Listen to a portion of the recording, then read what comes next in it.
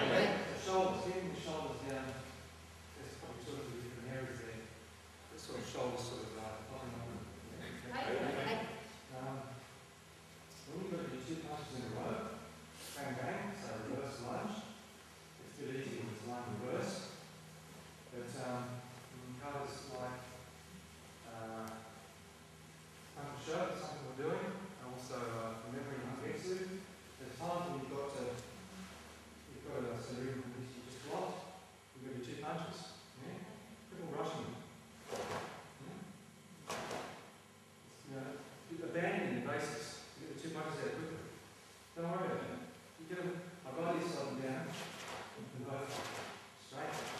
strong. Yeah? Right?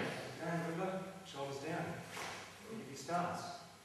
Yeah? And again, straight out, straight out. You're better off working on that straightness, slowing down in straightness. Mm-hmm. And throwing the shoulder. If you, in your basis, you're bending too, too much shoulder,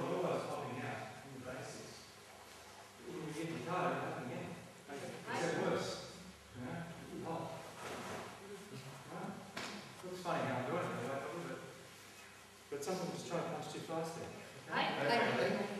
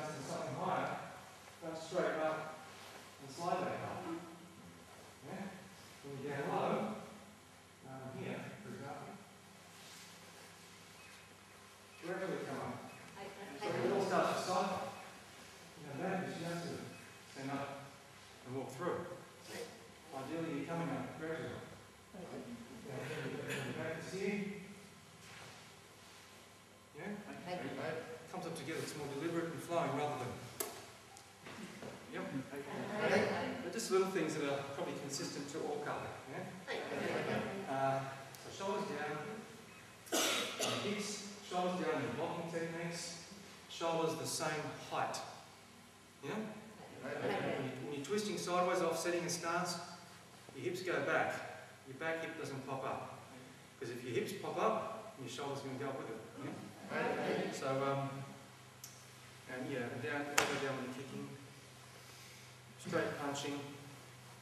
And elbows in.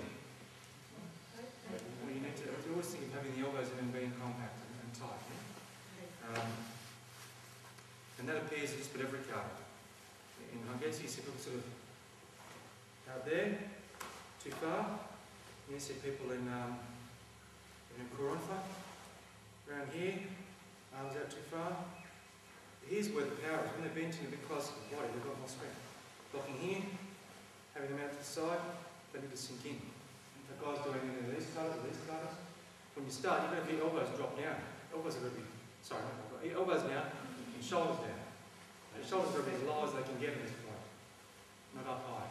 Lower the shoulders, lower the elbows, have the arms slightly focused out. Right, up, no, that's good. And hopefully you are able to, if you need needed help.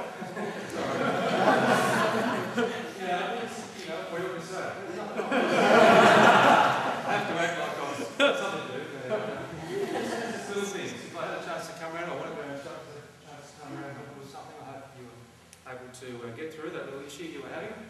Um. It gives us a chance to look at people doing katas at their own time, in their own headspace, and ultimately we should be doing katas.